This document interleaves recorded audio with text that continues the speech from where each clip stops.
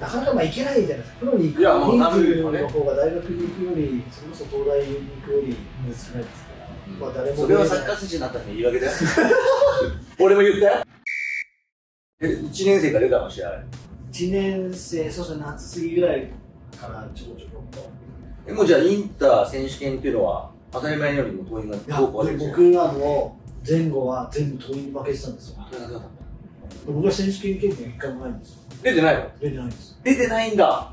えどこが出て党員が出てるの？全部党員でした僕が1年生の時の3年生も党員に負けてます。しその時党員誰だ？よ3年生。3年生の時は多分誰もいないと思いますね。2年生の時は奈良康義さん。ああうんうん札幌とかにいた、は彼党員か。い党員です。はい。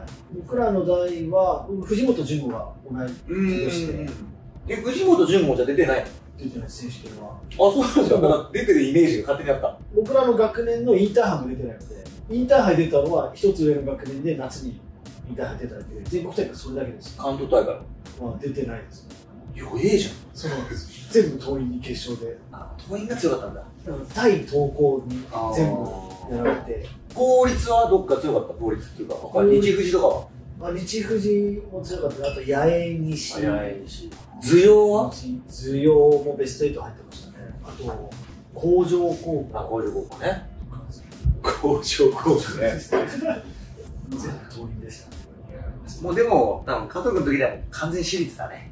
俺らの時はまだ半分公立がまだ強かった時代だったからさ。あそうです。うん、私立は日富士、桐蔭、まあ、東高、あと法政二高とかさ。あはいはいはいで、県立だと鎌倉とか湘南とか相模原とか、もう頭いいとこ強いのよ。その中で旭高校が多分一番頭悪いみたいな。中の中みたいな。でもしょうがないよね。もう、その、高校サッカーだけじゃなくて、高校の部活は、私立が強くなるのは当然だし、そこに公立が立ち向かうのは無理だよね。まあ、そうですね監督がどうしても変わるし、まあ、市船とか国見とかはまた別だかもしれないけど、神奈川、東京じゃまあ無理だね。そうですね、うん環境面が全然違いますもんねほとんど私立でしたねそうそう言われるのは同光学園で一番最初にサッカー選手になったのは浜野だよ。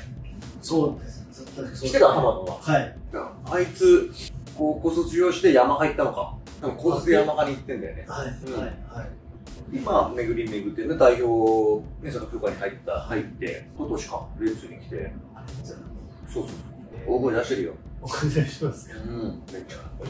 もうき、なんか、交代選手が出ると。ああなんだなんだつけみたいな。今、静かに聞こえるじゃん。はいそうですね今聞こえますもんね、うん。東郷学園って言ったらもう俺は浜野と、もう俊介とイメージあと井出口。夢先生。夢先生。井出は俊介と被ってたよね。一個個下だよね。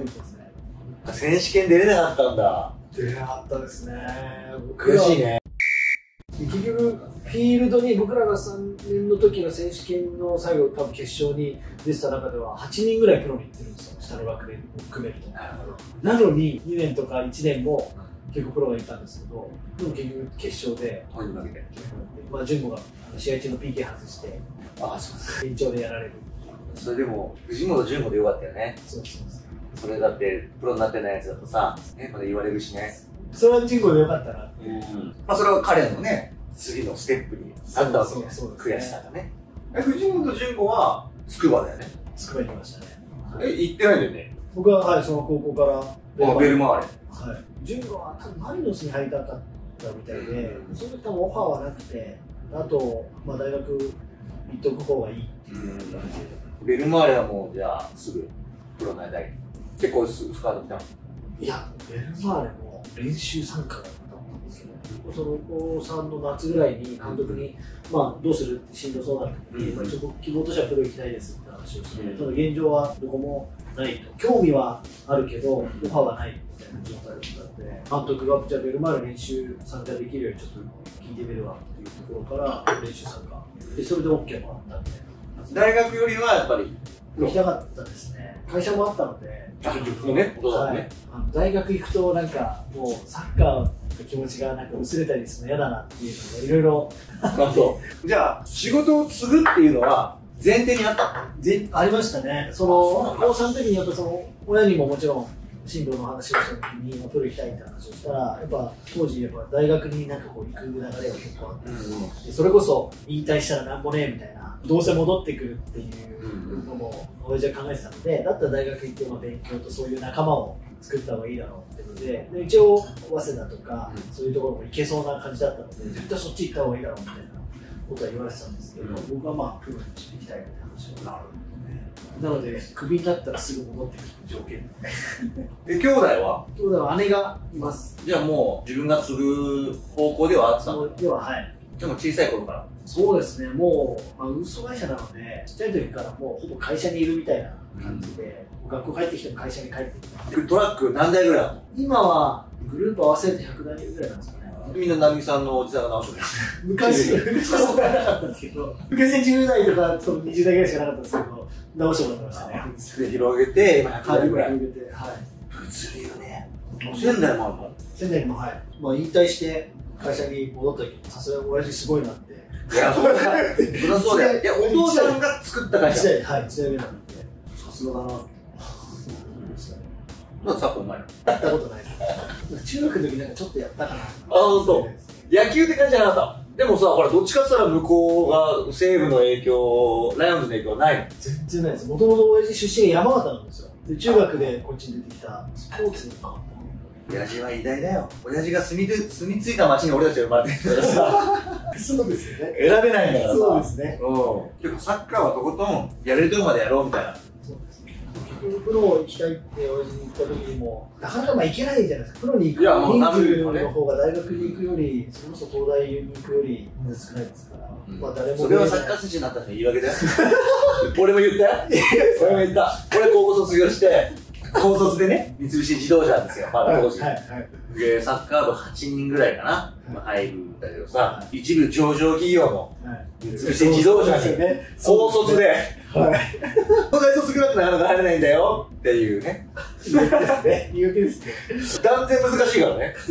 でもそこで試合に出る方が、で、試合に出た人はもっと少ない、もっと少ないっていうか、やっぱ試合に出れるってやっぱすごいことなんだよね。そっか、ベルマーレか。その当時はどこが強かったの？高校卒業するって何年2002年が1年目なので、ちょうどワールドカップ2001年か。はい2002年、2001年。でも、ジュビロ、鹿島、そうですね。あそういう時だね。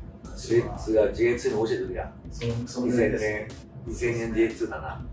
なるほど。あの頃か。そうですね。懐かしいですね、ワールドカップの時ベルマーレはその時は落ちたじゃん。落ちて、2000年 J2 だよね。そうです。で、上がってないよね。あですもう藤田も撤退しちゃって、はいはいで市民チームに変わって、一番きつい時だ一番きつい時です。監督誰？あ田中浩二さんあ、田中浩二さん。うん。レッツと一緒に落ちて、99年に。で上がってないですよね。そうそうそうそうそう。で、同期は誰になるの？ベルマーレは？ベルマーレは中島貴則って言って、アビスパのレースを左利きのサイドバックの戸田、戸田さんって、あ今日ご兄弟で FC 東京に戸田さんとお兄さんがいて、その弟、フォワードのね。はい、が同期。